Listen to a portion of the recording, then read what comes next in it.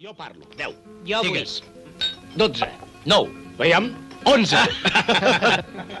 Sí, seremos nueve. Os ponéis en la mesa grande. ¿Qué vamos a comer? Sopa, tortilla de patatas y judías con botifarra. Muy bien. Ah, y una buena ensalada. ¿Puedes cambiar la sopa por un gazpacho? Eso es, a mí me gusta mucho la tortilla de papas con el gazpacho. Pero ahora preparar un Venga, gazpacho. hombre. Pero es que no comprende. Hay que celebrar la despedida de sortero de José. Anda, pon otra ronda. Que la paga el portugués. ¿Qué es lo siguiente cuando identificamos una ficción tan próxima a la realidad? Mucho se ha dicho, y siempre se ha dicho, lo sorprendente que resulta la frescura de la piel quemada hoy en día, y la sorpresa, en definitiva, se queda en eso, en una mueca. Los tópicos, tan susceptibles ellos de malformarse, son un arma de doble filo, ya que, por un lado, allanan el concepto para llegar más temprano que tarde a la idea, pero por otro, talan las particularidades que hacen del orden de cosas una frondosa posibilidad.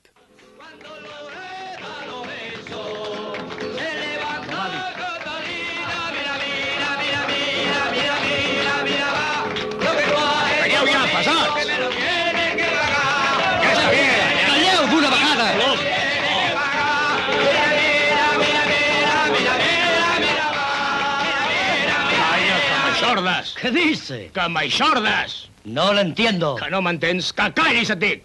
¿Y por qué tengo de callar? Veus com sí que m'entens? Pues no me da la gana ni de entenderlo ni de callarme. Porta això! En la piel quemada sucede algo curioso. Si bien los arquetipos responden a esquemas ya figurados en el consciente colectivo, con todo lo que de vulgar y reduccionista esto implica, Josep Maria Forn consigue, a la manera en que Carl Gustav Jung con el I Ching, preguntar a los tópicos por el tópico.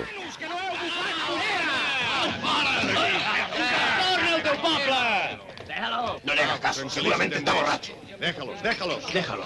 ¿No ves que tú siempre llevas las de perder? Y anímate, que aquí por la belga. Andrés, siéntate aquí que enseguida te traigo la tortilla y un gazpacho de chuparte los dedos. Antonio, tú me conoces. Tú eres catalán y sabes cómo pienso. Por eso me molesta que vengan esos señoritos idiotas y me llamen charnego. Yo estoy aquí ganándome el pan con mi trabajo. Sí, ya sé, no les hagas caso. ¿Sabes cómo los llamamos aquí? Gamarusos. Porque llevan unos cuantos billetes verdes en el bolsillo, se creen los amos del mundo. Es que no hay derecho, hombre. Siempre hablando que si Cataluña, que Ah, si... no le dé más vuelta, Andrés. Déjate de catalanes ni de narices. Lo malo es tener que buscarse el pan como lo hacemos nosotros. Y yo prefiero estos señoritos que están toda la semana pencando que los de mi tierra. Muy fino, muy dicharachero, pero no dan golpe. Te estás muriendo de hambre y te dicen, con Dios, hermano. y así logra desactivar el veneno dejándonos a solas con la herida, esa que tanto se parece a la triste certeza viral, tan en boga cuando los aires son de cambios, de que la culpa de todo lo que nos pasa la tiene, por un lado, el más alto de los enanos, o por el otro, los animales del circo, que son los únicos sin voz ni voto en este espectáculo también llamado progreso.